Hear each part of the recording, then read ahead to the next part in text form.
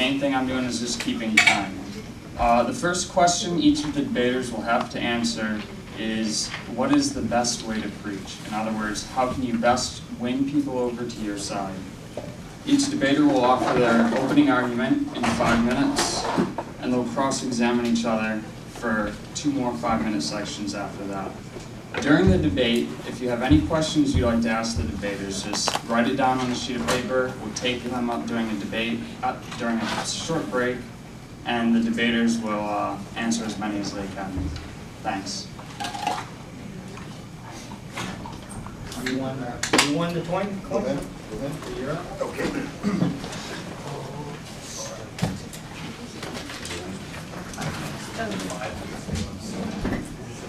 I'm glad to be here, and uh, I guess the first topic we're discussing is presentation. And I would say that, you know, my first goal is not to win people over to my side. That's ultimately a goal of mine, but it's not my first goal. Jesus did not win most people over to his side. I, my first goal is to present the truth and to be biblical. And lots of times you won't win people over doing that.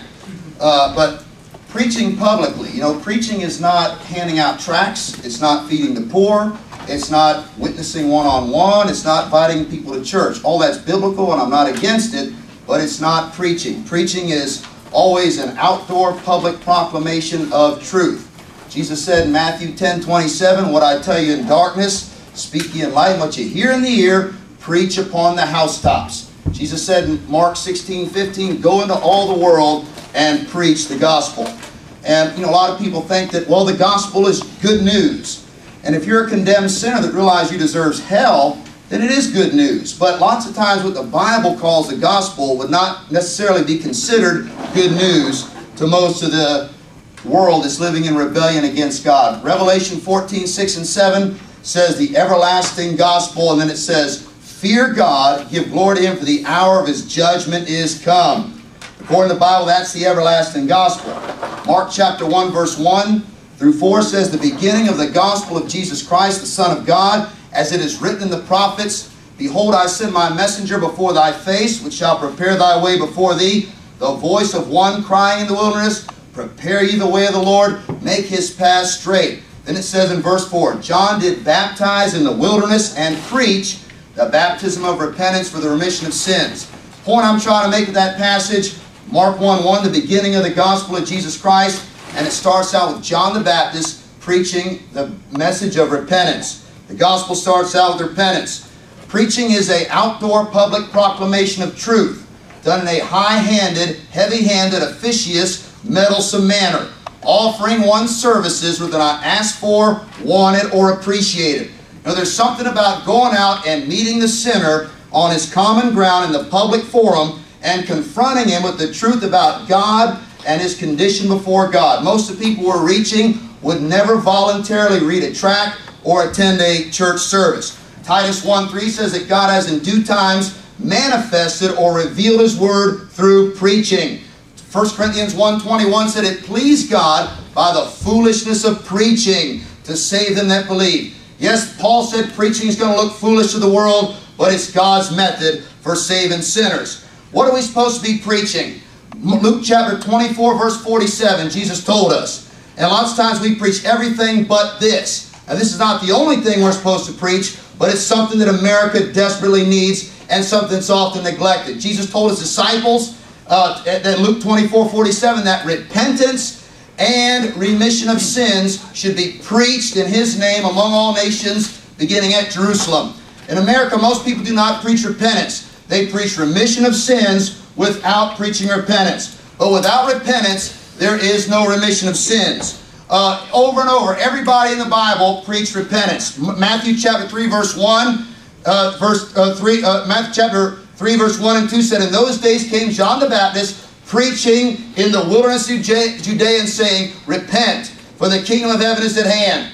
Uh, Matthew chapter 4, verse 17, Jesus said, uh, the time is, uh, Jesus said, from that time Jesus began to preach and to say, repent, for the kingdom of heaven is at hand. Luke 13, 3 and 5, Jesus said, except you repent, you will all likewise perish. Mark 1, 15, Jesus said, the time is fulfilled, the kingdom of God is at hand, repent and believe the gospel. We got John the Baptist. We got Jesus. Peter said, uh, Acts 2.38, Repent and be baptized, every one of you, in the name of Jesus Christ for the remission of sins. And you shall receive the gift of the Holy Ghost.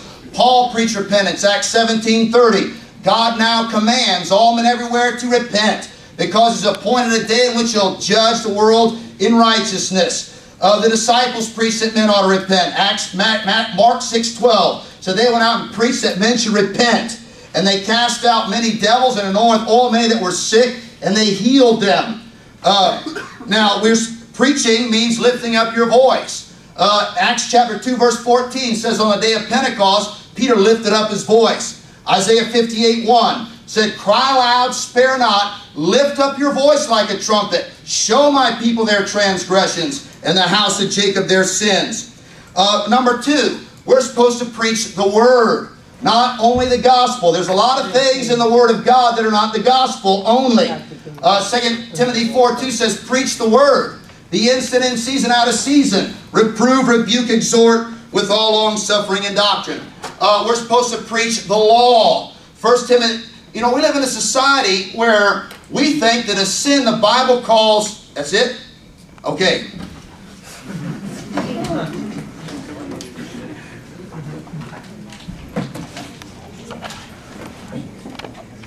First of all, I'd like to thank you, Micah, for coming out. And thank you, Alex, for doing this. And thank all of y'all for coming. I uh, am not going to be like Micah. You're going to see that from the very beginning. You know, we've all been, most of you in this room, have been exposed to Micah's preaching and uh, his method for preaching, correct? And you, some of you probably haven't even heard, most of you haven't even heard me preach, so you're not going to hear me doing all that. And many of you have been exposed to your own pastors. But you know, what I want to know, and what I thought about all week long as I was preparing for this, is what does God say about preaching? What's the method that God wants us to preach? That's important. So what we're going to do is we're going to, in my little section here, look at what the Bible says about preaching. How do we know if his way or my way is right? Or whether there's another way altogether. Acts 17.11 talks about a group from Berea. It's, these people were special because they studied the Bible to find out what Paul had said was so. That would be my challenge to you. Study the Bible to find out if what he's doing is right or what I'm doing is right.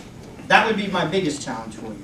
They studied with great eagerness, examining the scriptures daily to see whether these things were true.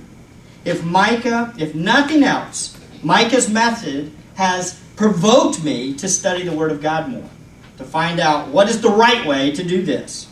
So he mentioned 2 Timothy 4.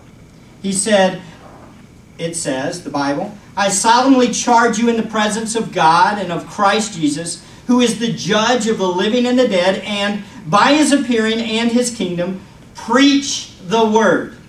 Be ready in season and out of season. Reprove, rebuke, exhort with great patience and instruction. This gives us a good outline. The Bible itself tells us how we're supposed to preach. That passage itself tells us how we're supposed to preach. It says, preach the Word. Like he said, the object is what? The Word, the Bible.